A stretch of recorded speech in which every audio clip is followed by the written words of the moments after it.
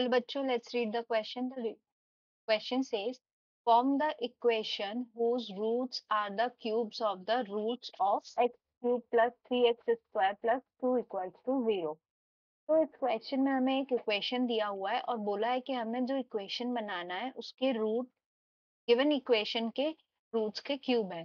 तो की concept in this question will be root of equation से y will be equals to x cube where x is root of equation x cube plus 3x square plus 2 equals to 0. तो हम ले सकते हैं that y is equals to x cube.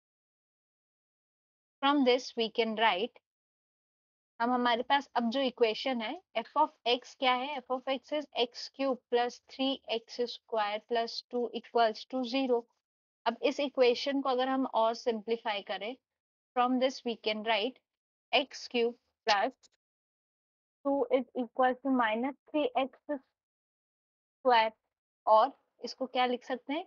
अगर हम इसका cube ले लेते हैं तो x cube plus two whole cube is equal to minus 3x square whole cube. This will be equals to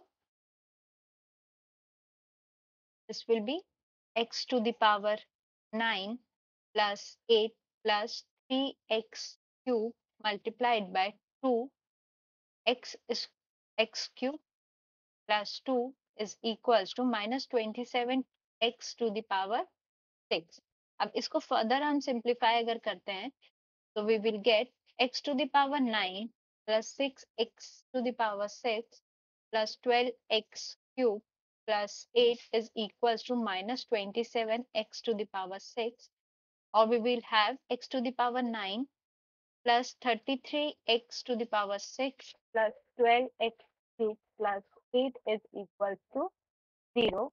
अब हम करेंगे substituting substituting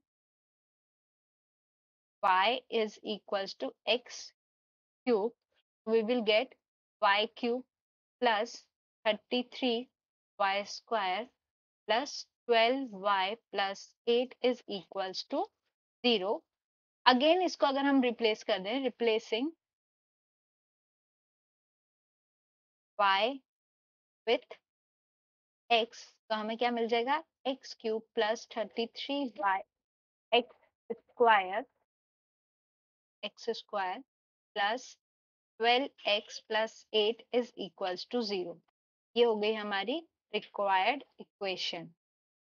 This is the required equation. Hence, this is answer. Hope you understood the question well. Best of luck.